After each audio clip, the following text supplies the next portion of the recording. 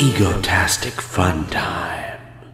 Alright, gang, here we are with the Orville Interactive Fan Experience, Fan Project by Messy Desk. Now, this is uh, version uh, Alpha version 6.1. Uh, they've been making changes every single day. I've been checking in every single day. And every single day, something cool that I never saw before uh, just all of, all of a sudden shows up, which is really great. Um, now, I will tell you there are some things that are uh, inactive right now that were active before, like when we did our live stream. You know, we were replicating things and sitting in chairs and uh, stuff like that, uh, shooting our weapons, picking up blasters, things like that, and shooting each other, having a good time. That's all uh, inactive right now. We can still explore, uh, but it's inactive because you know they're making changes and uh, they're upgrading things, and right now having those activated uh, just wouldn't work with the upgrades that they're doing right now. And it's always getting better every single day. And as amazing as this game is, it's only in alpha. It's not even in beta yet. Um, but I'm, from what I hear, they are expecting to actually have that alpha version out for uh, all of us to join in on very, very soon, which I'm really excited about. We're all going to be coming in here, hanging out. But I'm going to give you a tour right now, okay? And we'll see. Uh, we'll see what's going on in the Orville Interactive fan experience. This is created by fans, for fans. It is not a licensed product, but really it doesn't matter because this looks great. And I will apologize right now, my computer sucks.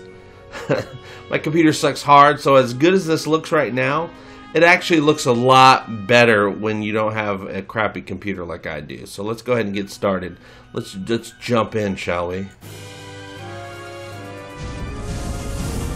Oh, beautiful. And when you have your settings up higher, that little moment right there has so much, so much cool lighting and uh, textures going on. Um, I have everything pretty much set to medium, a few things set to low. I actually kept my anti-alias up, though. That way all the panels and, and uh, look pretty good. And look at right here, something already brand new. We have Space Dock. We are at Earth Space Dock. That is so cool. The Orville is parked, and look, now we can actually see the, the outside of the hull.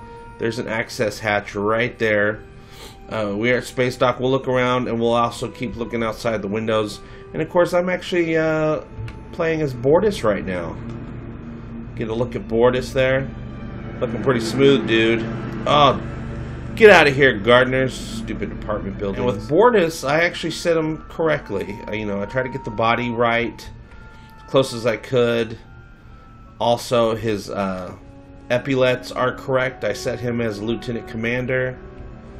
Here's a nice uh, picture on the wall, which I don't believe was there before. Here we are in the mess hall. Oh, wow. Let's get a, a better look at uh, Space Dock.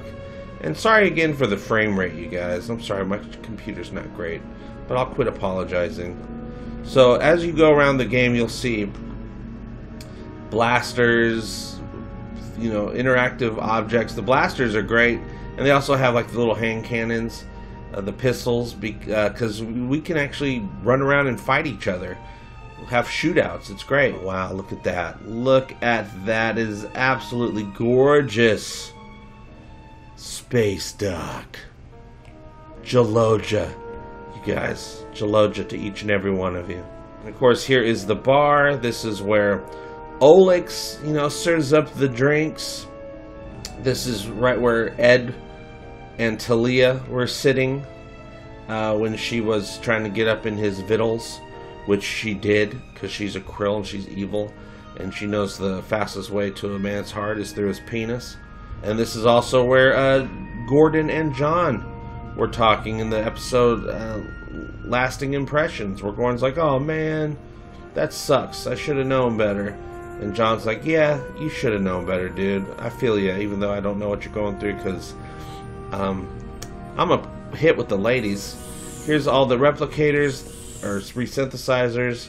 Of course, they're not active right now, but usually you hit a button, any one of these buttons here, and it'll replicate different things, like a jar of pickles, plants, uh, models of not only the original uh, uh, Wright Brothers airplane, but the actual Orville ship, spaceship. Here's the famous staircase from the. Oh wow! Look at just look at that. Look at the detail. Let's go up the stairs, you guys. Get up there, Bortus. Whee! That room is nothing but eventually every single door that you see on this ship will be an actual room that you can go into, explore. Here's the captain's ready room. So this is Ed's office, which we definitely want to explore. Look at that. Look at that. Money for nothing and the chicks for a free. Free chicks, you guys, everywhere. And of course, there's Kermit. Hey, Kermit. Now, everything on this desk is interactive. You can pick it up and do stuff with it, but of course, like I said, that is inactive at the moment. This is where Ed and Alara had that conversation where she's like, I can't do my job. I'm a scaredy cat of fire. And he's like, why don't you talk to your parents? We know how that went. That was in Firestorm. This right here is where in, in Old Wounds, that guy after the ship got pretty messed up in that um, battle with the krill in the pilot episode. Uh, Ed and Kelly were uh, having a conversation there where Ed's like, "Okay, you should stay with us. Welcome aboard." That dude was working on on the, repairing, you know, the outer hull, and he kept making a lot of noise in the window here, and they kept telling him to stop. I'm really hoping they have some random events eventually in this game where all of a sudden that dude will show up every once in a while. Whoa, jeez. I got a little Yaphet uh, view of uh, Bortus right there. And here we are. Now it's great, uh, when we were doing multiplayer the other day, we had a bunch of people in here and we were all sitting at our correct stations. Uh, which we can't do at the moment, unfortunately. But yeah, um, I was Isaac at that point. I was uh, Isaac and I was sitting at my station. We had the captain, we had uh, helmsman, uh, we had some other people sitting in, in uh, we had the security right here. Um, I don't know if we had anyone right here, but also look at these. This is really cool. Now there's keyboard shortcuts to do this, but you can actually change the lighting. You can go to yellow alert, which is working right now. Go to yellow alert.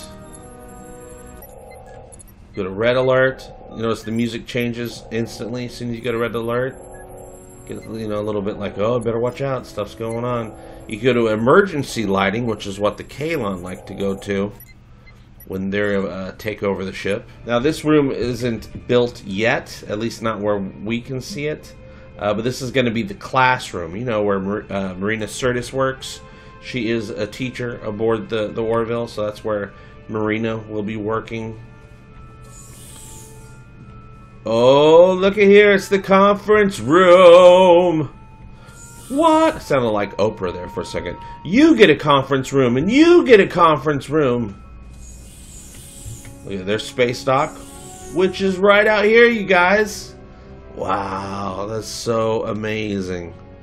So amazing. So I'm assuming we'll eventually... Oh, look down there. Okay, the planet is further away than it was yesterday. So there's Earth down there we can't really see much of it but if also if you if you look really close the clouds the weather systems are actually live and they're they're animated. So they're actually you can see them moving the clouds moving stuff like that. It's really great. Uh, we were a lot closer to earth yesterday when i when i logged in. Oh but this is actually better. This is more realistic. So we're at space dock.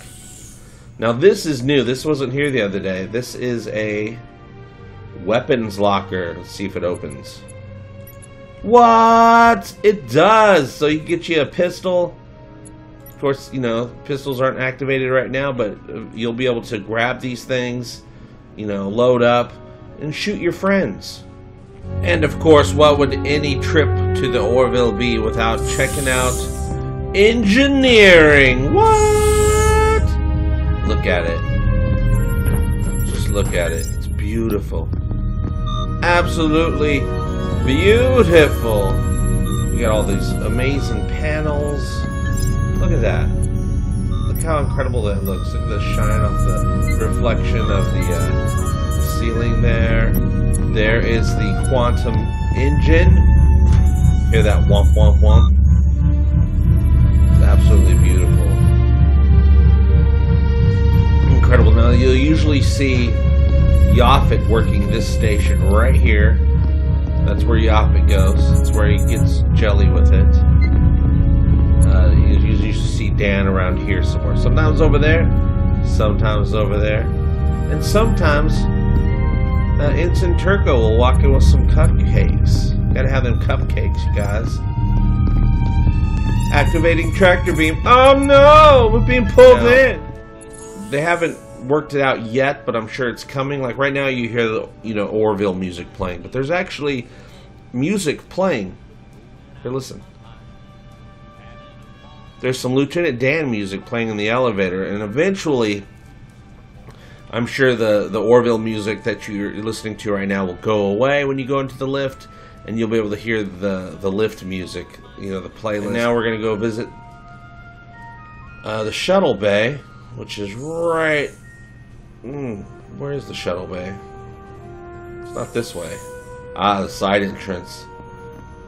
And here is the shuttle bay. We got shuttle one. We got pod one right here. Look at that. Isn't that amazing?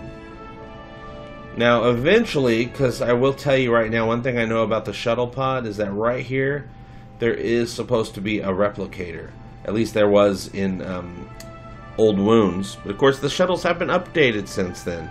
But I know in Old Wounds, right here, there, there was a, a rep, uh, resynthesizer. So we'll see.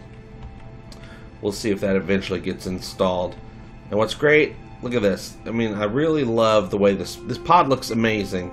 You can actually sit in every one of these chairs. Uh, but right now, like I said, sitting in chairs is deactivated. But hey, you know, we can crouch. We can crouch in, in here if we want. There you go. Look at room. There's room for 30 people. 30 people can fit in here if you just put your if you mush your junk together. Wait a minute. What's over there?